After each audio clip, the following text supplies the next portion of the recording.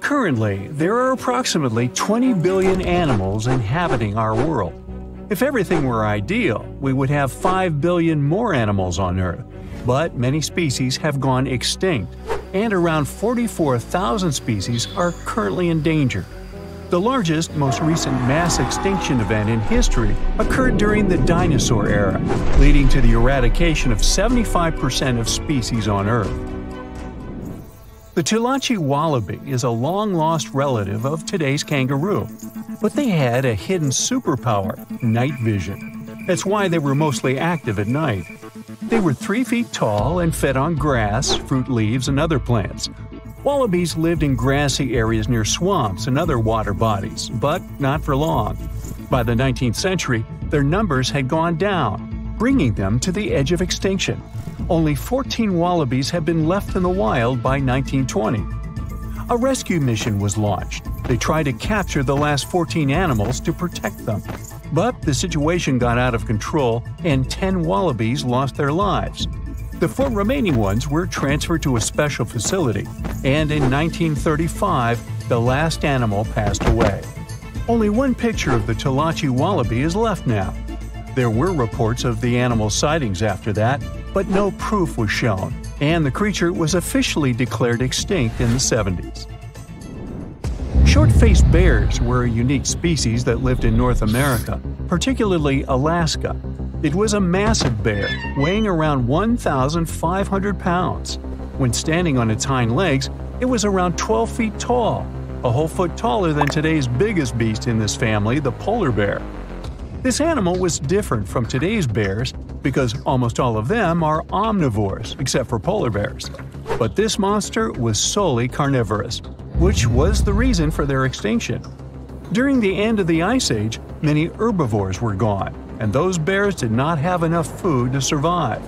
They were the Usain Bolt of the bear world, the fastest Bruins to have ever lived, reaching a top speed of 40 miles per hour, which is 5 miles faster than grizzlies.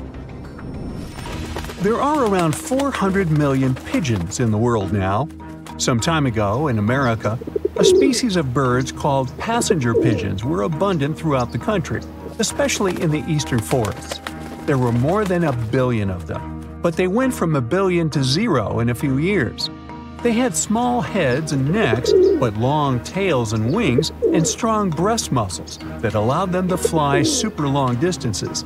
The last passenger pigeon passed away in captivity in 1914. It was named Martha. With that, the ecosystem in the U.S. has never seen this bird again. Now, elks are enormous animals, but they look tiny when you compare them to long-gone Irish elks. That elk was around 7 feet tall at the shoulder with a humongous antler of 12 feet. Today, elk are only 4.5 feet tall at the shoulder and have around 4 foot long antlers. Despite its name, this elk was found all over the world, from Asia to Europe. It got its name because, in Ireland near Dublin, researchers found a perfectly preserved specimen. Since then, it's been called the Irish elk. The last one passed away in Ireland. The main reason for their disappearance was their inability to adapt to changes. When the Ice Age ended, the elk could not survive and became extinct. Now, somewhere deep in the forests of Costa Rica lives the interesting looking golden toad. It was discovered in 1966 in one particular spot where all toads would gather to mate. In 1967, a large population of this golden nugget was noted in that same spot. But the following year, only 10 to 11 toads were seen, and the year after that, in 1968, only one lonely male toad showed up at the spot. For years, there were searches for golden toads. In 2004, the toads were officially declared extinct. Humans were not responsible this time. The drought in the area in the 80s had a significant impact on the toads. Still, the last straw was the arrival of a new fungal species that caused the animal's skin to thicken, eventually leading to the toad passing away. This chytrid fungus is responsible for the extinction of more than 90 frog and amphibian species, becoming one of the biggest threats to their lives. Now, Canada is a very cold country, no surprise there, and nobody would expect tropical birds like parrots to live there.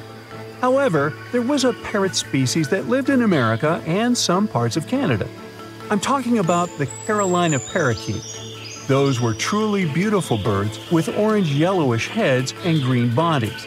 Their favorite rest spots were big trees alongside rivers. This parrot's favorite food was cocklebur seeds, which are poisonous to us, but the bird had no problem eating them. Also, they used the dangerous cockleburs as a defense mechanism. After they ingested loads of them, their meat became poisonous, and predators do not enjoy eating toxic birds. Carolina parakeets were abundant, there were millions of them. But since the Ice Age, their numbers had been gradually going down because of natural reasons, mainly temperature. By 1935, no such parakeets were left in the wild.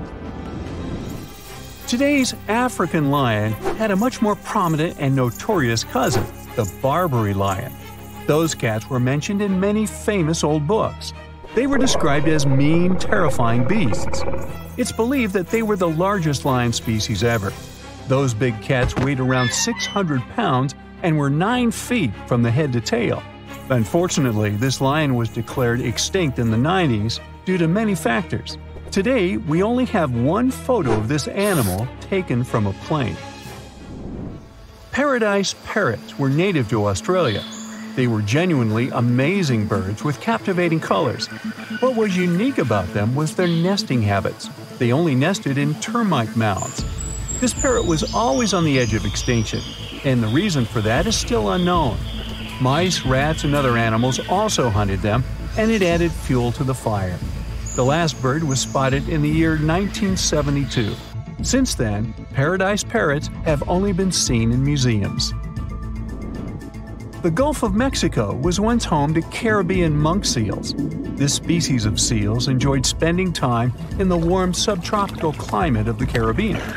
Most of the time, they were found near reefs and islands, foraging for food.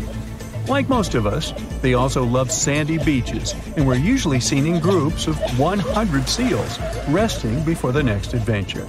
In the year 1886, monk seals were declared extinct. You can still see this animal in two museums. Both are located in the UK. As we all know, zebras have black and white stripes. But once, a zebra species had only half the body covered with brown and white stripes. The rest was just brown, and the belly was white. It was called the quagga. They lived in the southern part of Africa in grass fields and wet pastures, like today's zebras, and ate grass and other plants. The last quagga perished in 1888, but not all hope is lost. Today, extensive research is being done to bring this animal back into the wild. Australia is home to many outlandish animals, but the craziest ones are probably gastric brooding frogs. This species is not like your ordinary frog that lays eggs. They hatch their young inside their stomach and give birth by vomiting around 25 fully formed young frogs. Sometimes their stomach becomes so bloated that they have to breathe through their skin. Two species of this frog were discovered in the northern and southern parts of Australia in the 1970s by Mike Tyler. A decade after their discovery, both species are gone. The main reason for their extinction is the chytrid fungus. Luckily for them, they're also part of a de extinction program that's putting serious efforts into bringing them back into the wild. That's it for today. So, hey, if you pacified your curiosity, then give the video a like and share it with your friends. Or if you want more, just click on these videos and stay on the bright side.